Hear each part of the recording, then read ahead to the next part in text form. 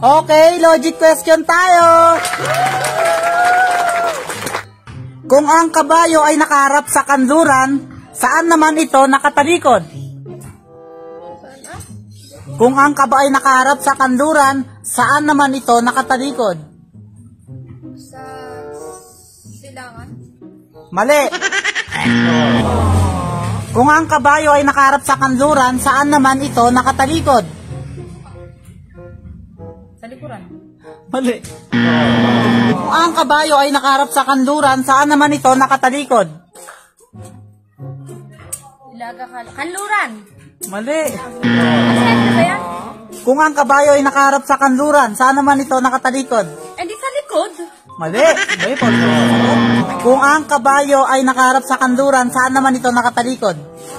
Sa timog. Mali. Kung ang kabayo ay nakaharap sa kanluran, saan naman ito nakatalikod? Kanluran. Sa kalesa. Mali. Kung ang kabayo ay nakaharap sa kanluran, saan naman ito nakatalikod? Kukuha na ba ako? Sagot mo na. Hindi sa taas. Tama. Hindi. Ilaga, taas. May anim akong itlog. Yung dalawa binasag ko. Yung dalawa niluto ko. Yung dalawa kinain ko. Ilan ang natira? Yung dalawa binasag ko, yung dalawa niluto ko, yung dalawa kinain ko. Ilan ang natira? Wala. Mali. May anim na itlog, yung dalawa binasag ko, yung dalawa niluto ko, yung dalawa kinain ko. Ilan ang natira? Dalawa. Mali. Yung, may, dala, may anim na itlog, yung dalawa binasag ko, yung dalawa niluto ko, yung dalawa kinain ko. Ilan na natira? Eh, di apat. Tama.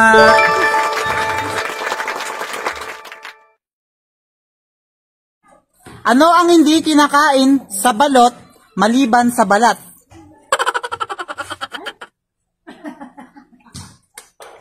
Ano ang hindi kinaka... Ha? Sabaw.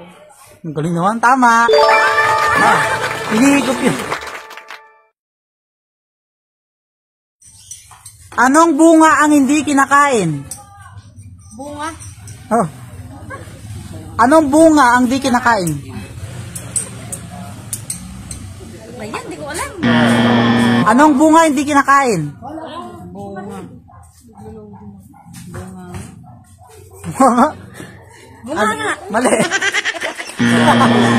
Anong bunga ang hindi kinakain? Bunga? Anong bunga? Oo. Lason. Mali. Anong bunga ang hindi kinakain? Prutas ba yan? Hindi. Ay, hindi. Tao. Mali. Bunga. Anong bunga ang hindi kinakain? Eh, di, bunga ara. Tama. Kung ang Tagalog ng butterfly ay paru-paro, ano naman Tagalog ng butter? Hindi paro. Paro-paro di. Mali. Kung ang Tagalog ng butterfly ay paru-paro, ano naman Tagalog ng butter? Bate? Ano bate? Baro-baro. Mali. Kung ang Tagalog ng butterfly ay paru-paro, ano naman Tagalog ng butter? Bater. Hindi. Tigilya. Tama, mantikilya. May anak ang tatay mo pero di mo kapatid. Ano ito? May anak yung tatay ko. Bulto. Pero di mo kapatid. Ano ito? Ewan. May anak ang tatay mo pero hindi mo kapatid. Ano ito? May kapatid ang tatay mo. Ano ito? Ah. Hindi mo kapatid pero anak ng tatay mo. Kapatid sa labas? Hindi. Mali. May anak ang tatay mo pero di mo kapatid. Ano ito? Ate. Hindi. May anak ang tatay mo pero di mo kapatid. Ano ito? Kambal. Hindi. Hindi. Wala. May anak ang tatay mo pero di mo kapatid. Ano ito? Ani, no? Mali. May anak ang tatay mo pero di mo kapatid. Ano ito? Na- narinig ko na. Sarili. Oo, ikaw. Tama. Paano ka lalabas sa bahay na walang bintana at walang pinto? Pwede dire-diretso lang. Lala. Tama. Wala namang bintana, walang pinto. Kung may anim kang kapatid at pangatlo ka, pang ilan ang bunso? Pangatlo kong Kung may anim kang kapatid at pangatlo ka, pang ilan, pang ilan ang bunso? edi ano, edi anim. Mali. Kung may anim kang kapatid at pangatlo ka, pang ilan ang bunso? Panguna. Mali. Kung may kung may anim kang kapatid at pangatlo ka, pang ilan ang bunso? Kung may anim, Oo. Kapatid. Pangatlo ka, pang ilan bunso? Kung may anim kang kapatid at pangatlo ka, pang ilan ang bunso? pang three. Mali. Kung may anim kang kapatid at pangatlo ka, pang ilan ang bunso? Pang lima. Mali. Hindi mo sagot. Ano eh, pang pito. Tama. May anim kang kapatid. Anim.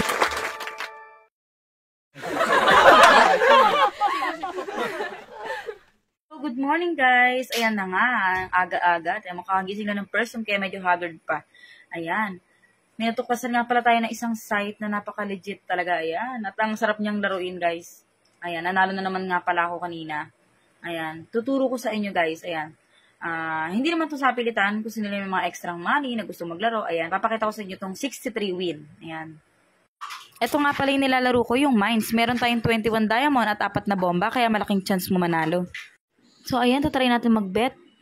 Wow, ayan, cash out na natin. O, ba, napakadali lang. Try ulit natin mag-bet. Ayan, try natin pang box. O, ba, ang galing. Diamond lahat. Ayan, cash out na natin. Ayan, ipapakita ko naman sa inyo kung paano mag-deposit. Meron tayong 300 pesos, 500, 1,000, to 30,000 pesos. Ayan, pipindutin nyo lang kung Gcash o Maya. Ayan, pindutin nyo ang deposit. Sa pag-withdraw naman, madali lang. Nyo lang yung amount na i-withdraw nyo. Sa withdrawal 2, ayan, pipil upan nyo lang yung mga nakasulat dyan. At isi-save nyo siya. Ganyan lang kadali. Kaya ano pang inaantay nyo? I-click nyo na yung link na nakapin sa ating comment section at maglaro na rin kayo ng 63 win.